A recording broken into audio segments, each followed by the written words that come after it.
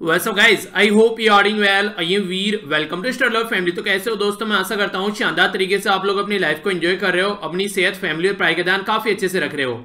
आज का lecture start करेंगे एक इंपॉर्टेंट डे के साथ में। उसके बाद में आगे बढ़ेंगे, कुछ न्यूज़ देखेंगे और काफ़ी कुछ आज हम लोगों को जानने को मिलने वाला है। तो सबसे पहले यहाँ पर जो डे होगा, उसके बारे में कुछ बैकग्राउंड हिस्ट्री भी मैं आप लोगों को बताऊँगा, जो कि काफ़ी इंपॉर्टेंट है और आप लोग जानकर थोड़ा सा इन चीज़ों को आगे से अपनी कंट्री के लिए और अच्छी भावनाएँ आप लोगों के माइंड में आएँगी। खासकर जब आप लोग समझेंगे कि हमारी कंट्री में जो सिपाही हैं, उन्होंने किस तरीके से टाइम टू टाइम अपनी कंट्री का जो परचम है, वो लहराने की कोशिश की है। बात की जा रही है नेशनल सोलिडेरिटी डे के बारे में। ये जो डे है, हर साल 20 अक्टूबर को सेलिब्रेट किया जाता है। बेसिकली 20 अक्टूबर, जब 20 अक्टूबर 1962 यानी कि जब उन्नीस में चाइना के साथ में हमारी वॉर स्टार्ट हुई थी, बेसिकली हमारी वॉर स्टार्ट नहीं हुई थी, चाइना ने हमारे ऊपर अटैक किया था। और दो रीजन पर एक साथ अटैक किया। एक तो रीजन था यहाँ पर आप लोगों के सामने, अगर आप लोग देखेगा, एक तो था लद्दाख वाला पोर्सन और दूसरा था यहाँ पर अरुणाचल प्रदेश वाला रीजन।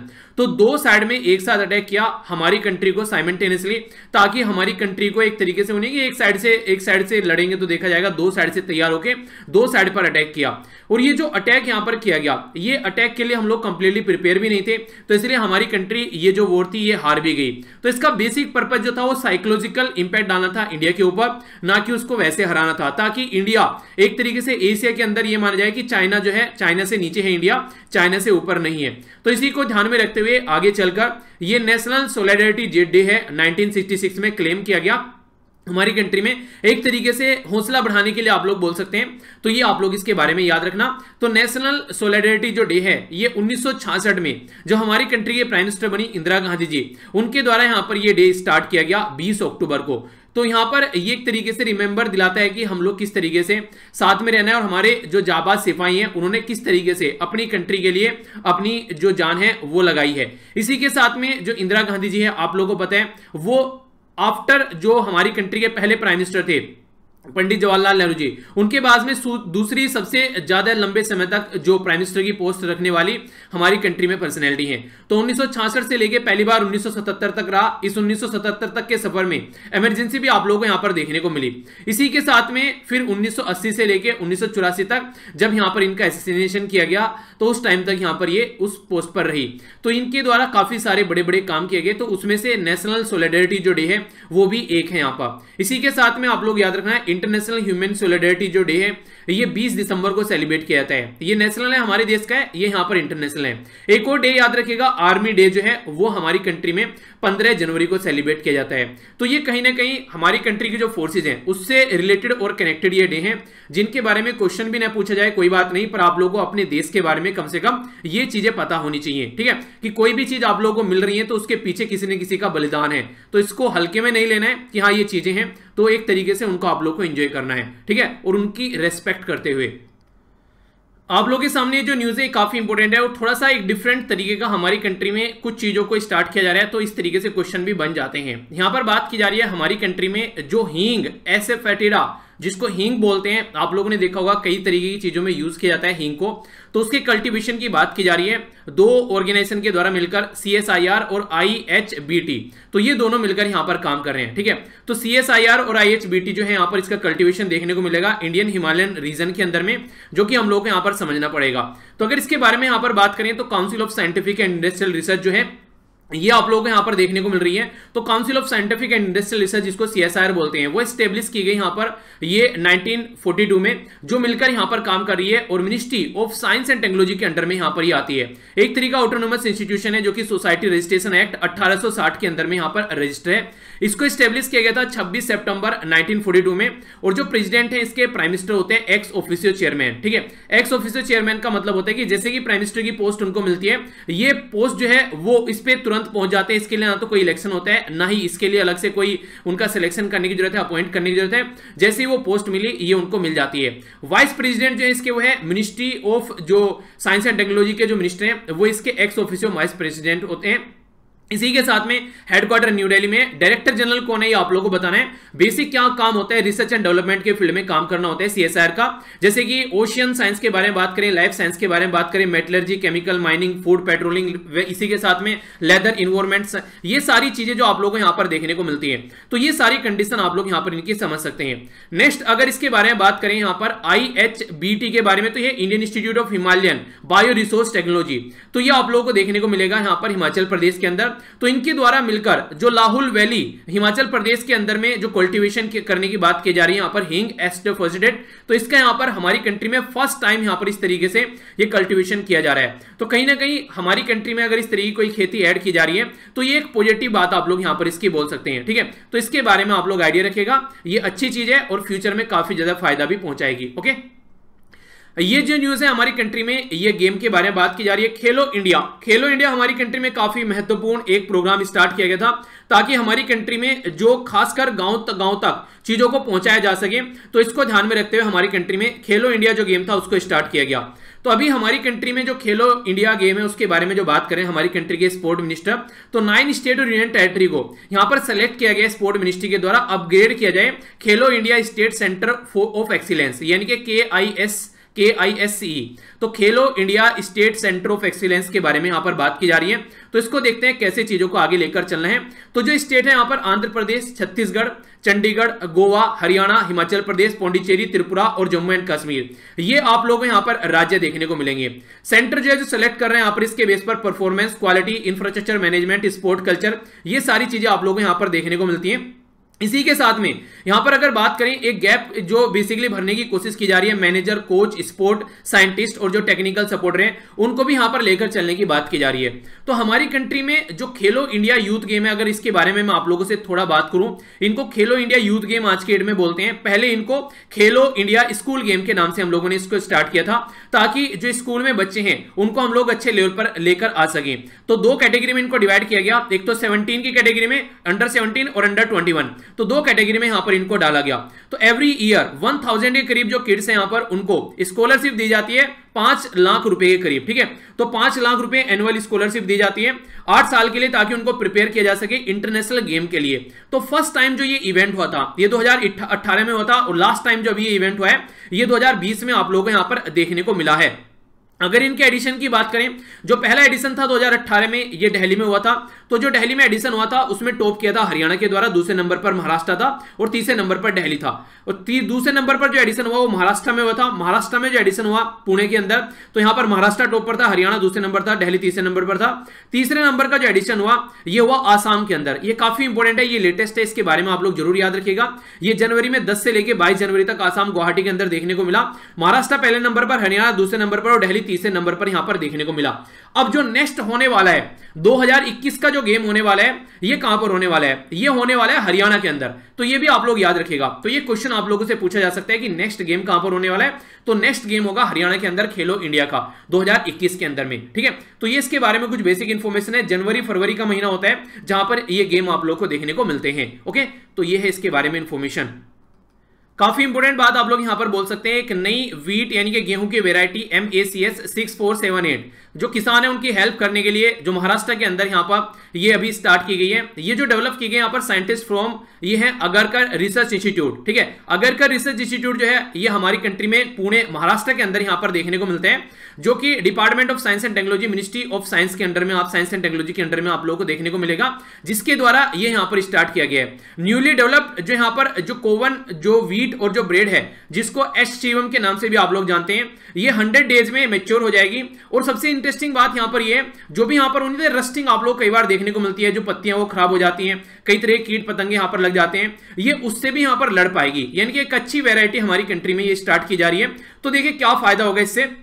अगर किसान आज के में खेतों में कोई फ़सल उगाते हैं और वो फ़सल, अगर उसमें कोई कीट पतंगा लग जाता है, आधे से ज़्यादा फ़सल जो है वो बर्बाद हो जाती है तो सबसे बड़ी प्रॉब्लम ये देखने को मिलती है। इसी के साथ में अगर चीज़ें आगे बढ़ती हैं तो उससे कई सारी और टेंशन यहाँ पर निकल कर आती है कि किसानों की जो इनकम डबल करने की बात की जा रही है दो हज़ार बाईस तक तो वो इनकम कैसे हम लोग डबल पर खाएँगे तो उसको भी यहाँ पर फोकस देकर चलना है। तो किसानों के लिए अगर कोई ऐसी वेरायटी अगर साइंटिस्ट खोजकर निकाल कर लेकर आते हैं तो ये काफ़ी मोटिवेशन का सोर्स आप लोग बोल सकते हैं, जिससे किसान भी एक तरीके से एक सही डायरेक्शन में अच्छी लागत यहाँ पर पर एक तरीके से अगर लगा रहे हैं खेतों में तो अच्छी पैदावार कर पा रहे हैं, उनको भी एक तरीका प्रॉफिट हो रहा है। तो ये अच्छी बात है तो यहाँ पर बोला जा रहा है कि डबल लगभग यहाँ पर जो उनकी पैदावार है, वो इस वेरायटी की वजह से यहाँ पर देखने को मिल रही है। तो ये एक पॉजिटिव साइन है, अगर इस तरीके से किसानों की जो पैदावार है, वो यहाँ पर डबल हो जाती है। तो ये जो वेरायटी है, इसका नाम है M A C S six four seven eight तो इसके बारे में आप लोग आइडिया ज़रूर रखिएगा।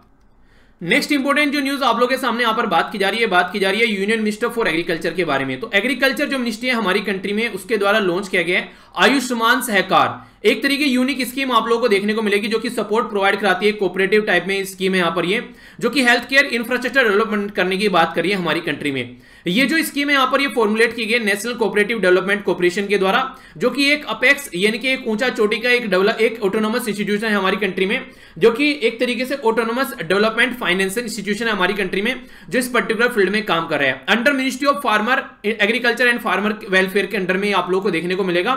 तो यहाँ पर बेसिक पर्पज क्या है? एक तरीके यहाँ पर सपोर्ट प्रोवाइड कराना है ताकि हेल्थ केयर इंफ्रास्ट्रक्चर हमारी कंट्री में प्रॉपर वे में डेवलप किया जा सके, ठीक है? इसी के साथ में लोन जो है यहाँ पर, ये प्रोवाइड करा जा रहा है लगभग टेन थाउज़ेंड करोड़ का आने वाले टाइम में ताकि इसको और अच्छे लेवल पर ले जाया जा सके। इसको जो पास किया गया था नाइनटीन में खासकर प्रमोशन डेवलपमेंट ऑफ़ कोऑपरेटिव्स इसको स्टार्ट किया गया था हमारी कंट्री में पार्लियामेंट एक्ट के थ्रू यानी कि एक तरीके से स्टैचुटरी स्टेटस इसको मिला हुआ है, जिसके बेस पर चीज़ें जो है, एक तरीके से प्रॉपर वे में आगे बढ़ पाती हैं। अगर हमारी कंट्री में पार्लियामेंट में कोई एक्ट पास किया जाता है, उसको स्टैच्यूट बोलते हैं आप लोग स्टैचुटरी स्टेटस मिल जाता है। ठीक है, आप लोग देखते हैं ना एग्जीक्यूटिव बॉडी है स्टैचुटरी बॉडी है, या फिर संवैधानिक, यानी कि कॉन्स्टिट्यूशनल बॉडी है तो एग्जीक्यूटिव बॉडी वो होती है, जैसे कि NITI Aayog planning commission executive body है, ठीक है? कोई लॉ पास नहीं किया गया इनके लिए पार्लियामेंट में। स्टेचुटरी बॉडी वो होती है जिनके लिए लॉ पास करके इसको बनाया जाता है। नेशनल ग्रीन ट्रिब्यूनल के बारे में आप लोग बात कर सकते हैं, ठीक है? संवैधानिक बॉडी जैसे पंचायती राज सिस्टम हमारी कंट्री में हो गया तो पार्लियामेंट में अगर चीज़ें देखने को मिलेगा पार्लियामेंट में पास कर कर कॉन्स्टिट्यूशन स्टेटस दिया गया, संविधान में उनके बारे में मेंशन है तो वो संवैधानिक बॉडी हो जाती है। तो इसमें कोई कंफ्यूजन माइंड में नहीं होना चाहिए। नेक्स्ट जो यहाँ पर न्यूज़ है, जैसे मैंने अभी आप लोगों से बात करा पंचायती राज सिस्टम के बारे में तो seventy third and seventy fourth constitution amendment हमारी कंट्री में किया गया ग्राउंड लेवल पर पंचायती राज सिस्टम लाने के लिए और म्यूनसिपैलिटी बनाने के लिए। तो सेंटर के द्वारा अमेंड किया जा रहा है जम्मू एंड कश्मीर पंचायती राज एक्ट 1989 जिसके तहत यहाँ पर डिस्ट्रिक्ट डेवलपमेंट काउंसिल बनाई जा रही है। यानी कि हमारी कंट्री में अभी जो जम्मू एंड कश्मीर वाला जो यूनियन टेरिटरी है, वहाँ पर जम्मू एंड कश्मीर जो पंचायती राज एक्ट है, उसको चेंज किया जा रहा है जो 19 जो 1989 का है, उसको चेंज कर कर डिस्ट्रिक्ट डेवलपमेंट काउंसिल बनाई जा रही है। और इंपॉर्टेंट बात यह है कि यहाँ पर इनको डायरेक्टली इलेक्ट किया जाएगा। यानी कि अपॉइंटेड बॉडी नहीं होगी डायरेक्टली इलेक्ट होगी, यानी कि वोटर डायरेक्ट वोट यहाँ पर डालेंगे। तो ये एक अच्छी बात होगी। यानी कि एक डेमोक्रेटिक सिस्टम को और ज़्यादा इंप्रूव करने का काम करेगी जम्मू एंड कश्मीर वाला जो एरिया है, उस यूनियन टेरिटरी वाले एरिया में। अगर यहाँ पे बात करें, यहाँ पर डिस्ट्रिक्ट डेवलपमेंट काउंसिल जो है, ये एक न्यू यूनिट होगी गवर्नेंस के अंदर में, ताकि जम्मू एंड कश्मीर में जो गवर्नेंस है, उसको ग्राउंड लेवल तक पहुँचाया जा सके। इसी के साथ में यहाँ पर जो मिनिस्ट्री ऑफ़ होम अफेयर है, उसके द्वारा अमेंडमेंट किया गया। जो 1989 का पंचायती राज जो एक्ट है यहाँ का, उसमें अमेंडमेंट कर कर अब यहाँ पर, एक तो हो गया यहाँ पर क्या? यह है डिस्ट्रिक्ट डेवलपमेंट काउंसिल और एक हो गया डिस्ट्रिक्ट प्लानिंग जो कमेटी है। तो ये मिलकर यहाँ पर काम करेगी। पाँच साल के लिए यहाँ पर इसका टाइम ड्यूरेशन आप लोगों को देखने को मिलता है। और इसी के साथ में, अगर किसी के लिए रिजर्वेशन की ज़रूरत है, जैसे महिलाओं के लिए शेड्यूल कास्ट के लिए शेड्यूल ट्राइब के लिए तो रेस्पेक्टिव उसी तरीके से रिजर्वेशन उनको दिया जाएगा, जिस तरीके से नॉर्मल रिजर्वेशन दिया जाता है किसी भी राज्य के अंदर। तो उसमें कोई चेंज नहीं होगा। तो बाकी का जो चेंज किया गया वो यहाँ पर किया गया इसके अंदर डिस्ट्रिक्ट डेवलपमेंट काउंसिल तो डिस्ट्रिक्ट लेवल पर डेवलपमेंट करने के लिए काउंसिल यहाँ पर सामने निकल कर आएगी। ठीक है? तो यह है इसका बेसिक फंडा, जिसको आप लोग याद रख सकते हैं। तो काफ़ी इंपोर्टेंट है इसके बारे में ज़रूर याद रखिएगा। इंपोर्टेंट यहाँ पर न्यूज़ आप लोग यहाँ पर इसको बोल सकते हैं। क्या क्या बात की जा रही है, इसको थोड़ा समझने की कोशिश करते हैं। यहाँ पर जो बात की जा रही है एड्रेस करने के लिए जो सोसाइटल चैलेंज होते हैं तो उसके चलते डिजिटल इनोवेशन नीति आयोग के द्वारा अनाउंस किया गया है। एक fronted technology cloud innovation centre जिसको CIC आप लोग बोल सकते हैं। With the help of Amazon जो वेब सर्विस है उसके द्वारा, यानी कि अमेजन वेब सर्विस के साथ मिलकर नीति आयोग हमारी कंट्री में काम करने वाले हैं, जो खासकर जो चैलेंज होते हैं सोसाइटी के, उनको एड्रेस करने के लिए। और कंट्री में अपने ही तरीका एक प्रोग्राम आप लोगों को देखने को मिलेगा। तो जो पार्ट है यहाँ पर ये, जिसको बोला जा रहा है यहाँ पर एडब्ल्यू यानी कि अमेजन वेब सर्विस CIC जो आप लोग यहाँ पर देखने को मिल रहे हैं। तो एक तरीके से क्लाउड इनोवेशन सेंटर तो ग्लोबल प्रोग्राम यहाँ पर है। इसके चलते एक अपॉर्चुनिटी है जो गवर्नमेंट एजेंसीज है नॉन प्रॉफिट ऑर्गेनाइजेशन है एजुकेशन इंस्टीट्यूशन है, ये सारे मिलकर साथ में आएँगे और क्या क्या चैलेंज है यहाँ पर। किस तरीके से उनको चेंज किया जा सकता है? अप्लाई किया जाएगा design thinking test new idea, इसी के साथ में एक्सेस किया जाएगा टेक्नोलॉजी को, ठीक है? एक्सपर्टीज यहाँ पर देखने को मिलेगी ए डब्ल्यू एस यानी कि अमेजन वेब सर्विस तो ये सारी चीज़ें आप लोगों के सामने यहाँ पर निकल कर आएगी। तो काफ़ी इंपोर्टेंट आप लोगों के लिए यहाँ पर ये हो सकता है।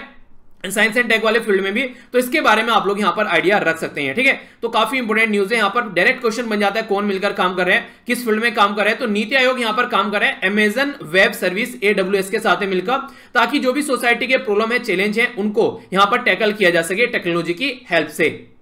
नेक्स्ट यहाँ पर अगर बात की जाए, बिहार असेंबली इलेक्शन के बारे में तो यहाँ पर इससे रिलेटेड ये न्यूज़ है। इसमें काफ़ी इंटरेस्टिंग जो बात की जा रही है, वो की जा रही है कि अभी रिसेंटली जो सिंबल है, जैसे आप लोग देखते हैं, कहीं लालटेन देखने को मिलता है, कहीं हाथ, कहीं कमल, कहीं झाड़ू, ये सारे सिंबल आप लोग यहाँ पर देखने को मिलते हैं। तो बिहार असेंबली इलेक्शन के लिए भी यहाँ पर अगर ये सिंबल कोई सामने निकल कर आ रहे हैं तो election symbol reservation and allotment amendment order 2017 के हिसाब से सिंबल दो कैटेगरी में डिवाइड किए जाते हैं रिज़र्व सिंबल और फ्री सिंबल ठीक है?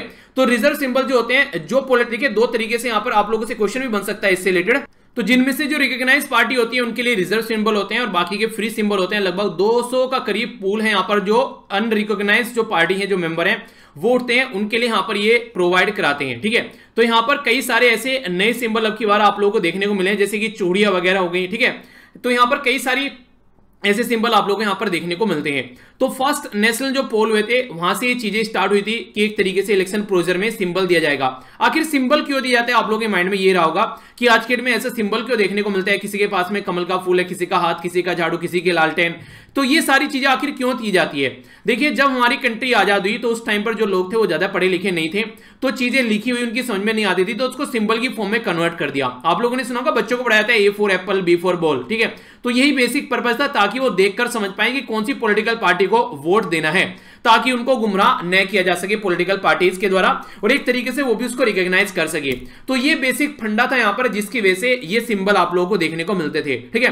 तो इलेक्शन सिंबल जो यहाँ पर रिजर्वेशन एंड अलॉटमेंट ये अमेंडमेंट ऑर्डर है दो हज़ार सत्रह, इसके हिसाब से यहाँ पर ये चीज़ें आप लोग को देखने को मिलती है, ठीक है? ये बेसिकली पिचासी प्रतिशत के करीब जो यहाँ पर इलेक्ट्रोट थे, वे इलिटरेट थे, जिसकी वजह से ये विजुअलाइज फॉर्म में अगर चीज़ें किसी के सामने आएगी तो वो उसको समझ पाएगा। तो ये था बेसिक पर्पज ओके तो ये था टोटल आज का डिस्कशन मैं आशा करता हूँ कि आप लोगों ने अच्छे से एंजॉय किया होगा। सबसे पहले हम लोगों ने नेशनल सोलिडेरिटी डे के बारे में जाना। हिंग के बारे में हम लोगों ने समझा। एक पर्टिकुलर ऑर्गेनाइजेशन के बारे में डिटेल में समझा। खेलो इंडिया प्रोग्राम के बारे में काफ़ी डिटेल में हम लोगों ने डिस्कस किया। इसी के साथ में गेहूँ की वेरायटी और वो सब चीज़ें जानी। नेक्स्ट हम लोगों ने प्रोग्राम के बारे में जाना अपनी कंट्री में सोसाइटी को लेकर। इसी के साथ में जम्मू कश्मीर से रिलेटेड जो अमेंडमेंट है उसके बारे में हम लोग को जानने को मिला। नीति आयोग के साथ मिलकर काम कर रहे हैं अमेजन ये चीज़ें हम लोगों ने जानी। और नेक्स्ट यहाँ पर जो सिंबल अलॉटमेंट है, इन सबसे रिलेटेड हम लोगों ने चीज़ें समझी। ठीक है? अब आप लोगों के सामने क्विज जो कि आप लोगों को अटेम्प्ट करना है। इसको अच्छे से अटेम्प्ट कीजिए, फिर आप लोगों को नेक्स्ट जो लेक्चर होगा उसमें आप लोगों को इसके बारे में बताया जाएगा। तो यहाँ पर जो मिलकर काम किया जा रहा है, हमारी कंट्री में ये सी और आई इनके द्वारा मिलकर काम किया जा रहा है हींग को हमारी कंट्री में उगाने के लिए, ठीक है? कल्टीवेट करने के लिए। तो ये आई क्या है? इसका नाम बताना है। नेशनल सोलिडेरिटी जो डे है, ये ट्वेंटी ऑफ़ अक्टूबर को सेलिब्रेट किया जाता है। तो किस कंट्री के द्वारा? चाइना के द्वारा हमारी कंट्री में दो राज्यों के ऊपर अटैक किया गया एक साथ में। तो कौन कौन से दो राज्य थे? ये आप लोगों को बताना है। उन्नीस में कौन थे हमारी कंट्री के प्राइम मिनिस्टर जिनके द्वारा यहाँ पर ये डे स्टार्ट किया गया? ये आप लोग बताइए। M A C S six four seven eight ये किसके द्वारा डेवलप किया गया है? ये जो नई गेहूँ की वेरायटी है। कौन से मिनिस्ट्री हैं जिनके द्वारा आयुष्मान, जो आयुष्मान सहाकार करके यहाँ पर ये स्कीम स्टार्ट की है? इसी के साथ में जो नीति आयोग है, वो किसके साथ मिलकर काम कर रहे हैं? ताकि हमारी कंट्री में जो टेक्नोलॉजी फ्रंट पर काफ़ी सारी प्रॉब्लम के सोल्यूशन निकाले जा सके। तो ये क्वेश्चन है जिनके आंसर देने अब कल का रिविजन कर लेते हैं। एक बार की कल हम लोगों ने क्या क्या डिस्कस किया था, ताकि लंबे समय तक आप लोग याद रख सके चीज़ों को। वर्ल्ड स्टेटिस्टिक जो डे है, उसकी थीम आप लोगों को बतानी है। इसी के साथ में provident fund organisation employment provident fund organisation उसका एक इनिशिएटिव है ताकि जनता तक पहुँचा जा सके। उस इनिशिएटिव का नाम बताना है। एंटी टैंक गाइडेड मिसाइल के बारे में बात की जा रही है। तो इसके बारे में आप लोगों को बताना है। सक्सेसफुली टेस्ट फायर की गई। तो ये यहाँ पर इसके बारे में आप लोग क्या बताना है? किसके द्वारा यहाँ पर ये फायर की गई है, ये बताना है, ठीक है? इसी के साथ में एट्थ एडिशन जो एनुअल इंडियन नेवी और श्रीलंका एक्साइज का कहाँ पर देखने को मिल रहा है? नेक्स्ट यहाँ पर विजय राजे सिंधिया के बारे में जाना, किसकी ये वाइफ थी जो लास्ट रूलर थे, कहाँ के? ठीक है? इसी के साथ में बॉर्डर रोड ऑर्गेनाइजेशन कौन सी मिनिस्ट्री के अंडर में आती है? पहले फंड ये ministry of road transport highway से लिया करती थी। इंडिया की रैंक क्या है? 107 कंट्री के अंदर, ये बताइए ग्लोबल हंगर इंडेक्स के अंदर में। आर आर के ए तो इसके बारे में आप लोगों को बताना है। आर के ए के बारे में इसकी फुल फॉर्म क्या है? जिसके तहत कामधेनु दीपावली अभियान के बारे में हम लोगों ने डिस्कस किया था। तो ये क्वेश्चन है, इनके आंसर मैं अभी आप लोगों को बताऊँगा। अच्छे से देखिएगा आंसर और आप लोगों को लंबे समय तक याद रखना है, क्योंकि डायरेक्ट भी क्वेश्चन एग्ज़ाम में बन सकता है और इसी के साथ में किसी क्वेश्चन में ये स्टेटमेंट भी बन सकती है, ठीक है? तो खासकर बिना ऑप्शन के आंसर देना सीख लिया तो लंबे समय तक चीज़ें याद रख पाओगे। वर्ल्ड स्टेटिस्टिक जो डे थीम है यहाँ पर connecting the world with data we can trust यानी कि ऐसे डेटा से कनेक्ट करना जिसके ऊपर हम लोग ट्रस्ट कर सके। यानी कि फेक चीज़ फेक चीज़ें नहीं होनी चाहिए, ठीक है? नेक्स्ट यहाँ पर इंप्लीमेंट प्रोविडेंट फंड ऑर्गेनाइजेशन के द्वारा यह निर्बंध इनिशिएटिव ये स्टार्ट किया गया। एंटी टैंक गाइडेड जो मिसाइल है एटीजीएम ये आप लोगों को देखने को मिलती है डिफेंस रिसर्च डेवलपमेंट ऑर्गेनाइजेशन के द्वारा इसको टेस्ट फायर किया गया है। एट्थ एडिशन जो देखने को मिल रहा है इंडियन नेवी का, इसी के साथ में श्रीलंकन जो नेवी है, मिलकर काम कर रहे हैं। ये श्रीलंका में देखने को मिल रहा है अब की बार, ठीक है? तो इससे पहला इंडिया के अंदर होता आंध्र प्रदेश विशाखापट्टनम वाले एरिया में, जो हम लोगों ने डिस्कस किया था। विजय राजे सिंधिया जो यहाँ पर है, ग्वालियर, जो यहाँ पर जीवराजाओ सिंधे की ये वाइफ थी, जिनके बारे में हम लोगों ने डिस्कस किया था। तो यहाँ पर जीवाजी राव सिंधे तो नाम इनका भी याद रखेगा लास्ट ग्वालियर के ये रूलर थे। Border road organisation ministry of defence के अंडर में आती है कंप्लीटली पहले अपना फंड ये ministry of road transport and highway से लिया करती थी। 94 107 में से आप लोगों को यहाँ पर इंडिया की रैंक देखने को मिलेगी ग्लोबल हंगर इंडेक्स में। अच्छा टोटल कितनी कैटेगरी कितने जो सब कैटेगरी में इसको डिवाइड किया गया ये आप लोग बताइए सीरियस कैटेगरी में है इंडिया तो यहाँ पर ये आप लोग को बताना है। राष्ट्रीय कामधेनु आयोग के बारे में हम लोगों ने डिस्कस किया था। दीपावली पर जो कंपेन चलाया जा रहा है, ताकि नेचुरल चीज़ें हम लोग यूज़ कर सके, ठीक है? तो ये था टोटल आज का डिस्कशन मैं आशा करता हूँ कि आप लोगों ने इसको एंजॉय किया है। अगर यहाँ तक देख लिया तो फीडबैक दिए बगैर मत जाइएगा। लेक्चर थोड़ा लेट हो गया, क्योंकि आप लोगों को पता है कभी कभी थोड़ी कुछ काम पड़ जाते हैं तो उसकी वजह से लेक्चर कई बार लेट हो जाता है। पर लेकिन लेक्चर आएगा ज़रूर, ये बात आप लोग याद रखिए, ठीक है? इस बात की तो गारंटी रहती है ओके तो यहाँ से जाकर पीडीएफ भी डाउनलोड कर लीजिए और भी कई सारी चीज़ें शेयर की जाती है। मेरे साथ ट्विटर इंस्टाग्राम और फेसबुक पर भी आप लोग कनेक्ट रह सकते हैं। तो मिलता हूँ नेक्स्ट लेक्चर में। बड़ों को नमस्ते, छोटों को प्यार, छोटी सी लाइफ है एंजॉय कर यार। तब तक के लिए जय हिंद।